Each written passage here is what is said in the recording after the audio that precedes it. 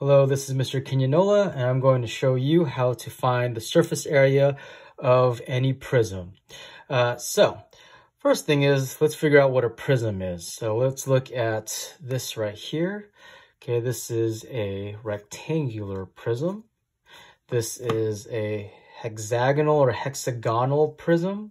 Okay, and this right here, is this a prism? No, this is a pyramid. So what's the difference between a prism and a pyramid?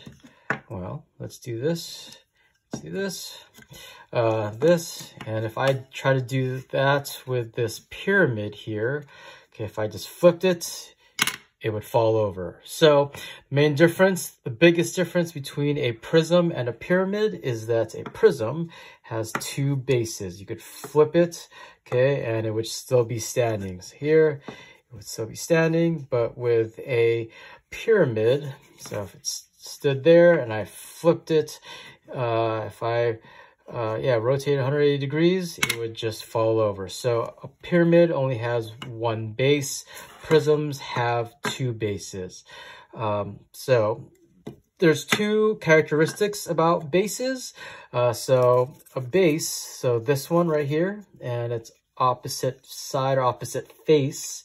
Um, two things. First thing is that they're congruent. So this base right here is the exact same size, same measurements as the other base right here. So the bases are congruent. Another thing is true about the bases is that they are parallel. So look at the two bases for this uh, hexagonal prism hexagonal prism, whichever way you want to say it.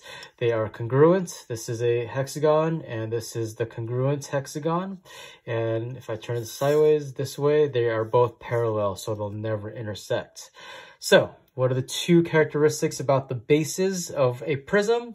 They're congruent and they're parallel. Okay, so that's how you figure out which ones are the bases. If we go to this triangular prism, okay, um, yeah, it looks like these rectangles could be the bases, okay, because they're congruent, but they are not parallel. So this one intersects right here. But the triangles right here are congruent and parallel, so they go in the same direction. So bases, so let's write this down. The bases, number one, are congruent and number two, they are parallel. So remember that, that'll help us out. Uh, so, but our main goal is to find the surface area of a rectangular prism. Uh, there's two ways that you can do this. You can find the area of each one of these faces. Okay, so with a prism, uh, with a rectangular prism, there are one, two, three, four, five, six faces. So we could find the area of each of these and just add them all up. Um, but today I'm going to show you a formula uh, that will help us not just on prisms, but uh, with other solids as well. So, um, so with area, just remember what area means. It's how many squares it can fit on the surface. So if you had little uh, little stickers that were in the shape of a square. How many of these little square stickers could we fill up all of these, all the surface of this prism? Okay, so how many squares can fit on the surface? That's what we're trying to figure out. Um, so let's figure out a formula that will help us out. Uh, so that formula, so what we established was for a prism, there are two bases.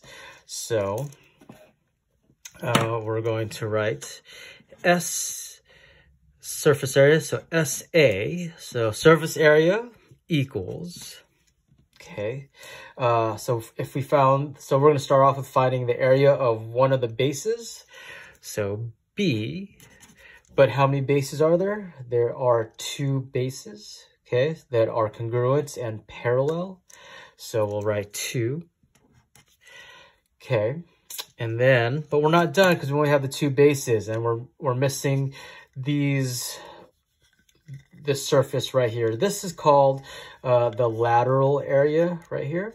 Okay, so we need to find out the area of this, add it to the two bases, and then we'll be done.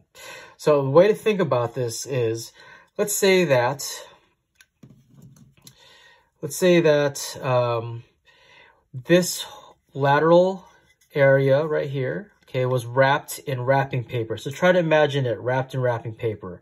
And let's say that I peeled off that wrapping paper. So if I peeled it off here, then I peel it off here, and I peel it off here, and I peel it off here. Okay, imagine it. Can you guys see it? It's this shape right here. What shape would that be? It would be, yep, a rectangle. Do you guys know what the formula is for the area of a rectangle is?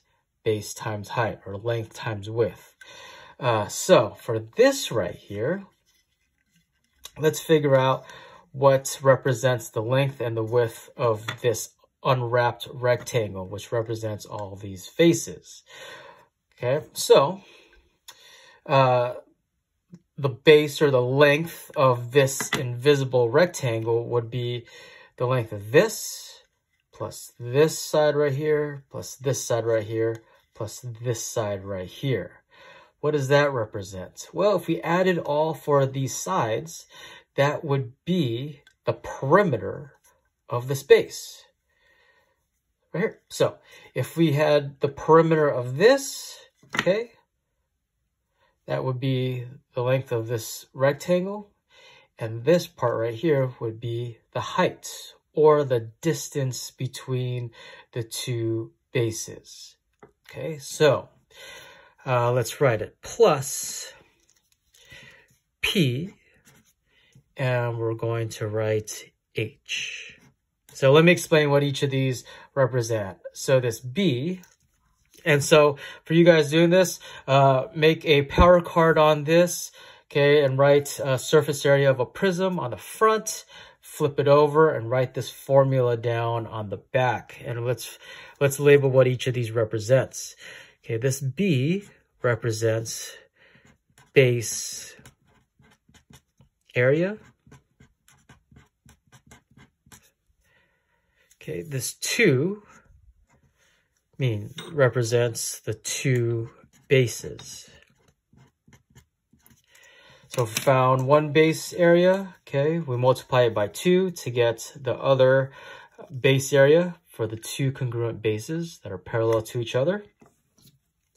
Okay, this P represents the base perimeter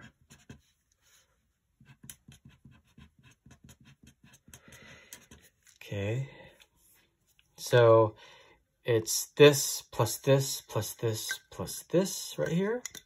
And this H, you may think it represents height, uh, but we're going to call it something else. Uh, so the H represents the distance between the two bases or how far the two bases are from each other. So distance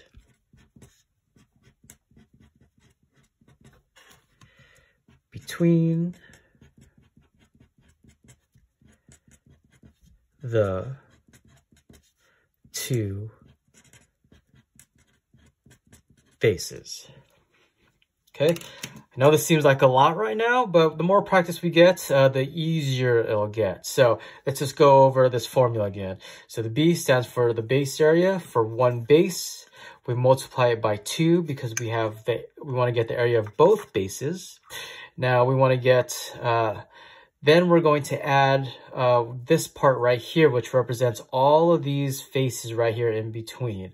Uh, so if you get the base perimeter, and multiply it by the distance between the two bases, okay, like the wrapping paper example, if we unwrapped it, okay, this right here is this P times H, which represents all four of these faces put together, so the area of all four of these faces.